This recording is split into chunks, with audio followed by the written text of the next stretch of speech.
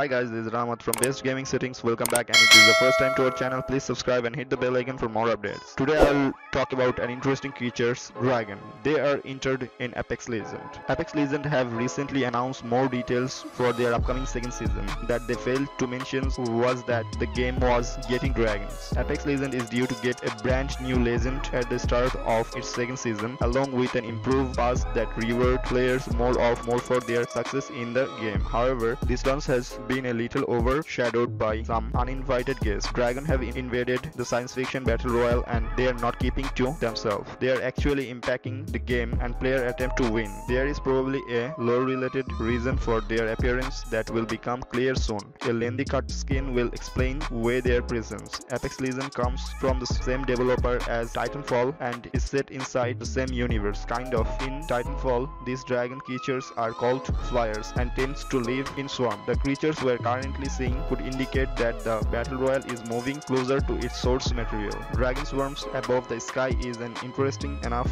distraction but they are actually having an impact on the game. These flyers are carrying death boxes filled with loot. Currently report indicate that their loot is usually of a purple or gold variety. This makes them a pretty legitimate target if you are running out of supplies. Getting loot from dragons. To provoke the dragon into dropping their loots, you need to shoot them out of the air. After they take some damage, they begin to raise up, but if you continue shooting, you should be able to catch them before they escape. They will then drop a loot box, a reward for shooting a pretty harmless creature. If you are using the right legend, you can also grapple into this dragon. It is currently unknown if this is an intended use or just something that's possible. This makes them a semi-viable option for some serious movement exploit. You can use them to navigate around the map quite a bit quicker, although you're safe from the player below. Someone might try to shoot you down your dragons for the loot. As the game progresses though the second season, this dragon might have an even large impact on the game's balance. Players have also reported leviathans have become to more close to the island. This could indicate that more gameplay revolving around creatures is coming to the game. Fortnite has sustained its popularity partially due to its near constant content update. Apex Legends has become a little stale. Season 2 has promised to keep the game freshers to hold players' interest. This dragon and the movement of the creatures are certainly part of that, although it also raises the questions of where serious players can go for games that aren't going to feature dragon. It is probably the best to hold off and see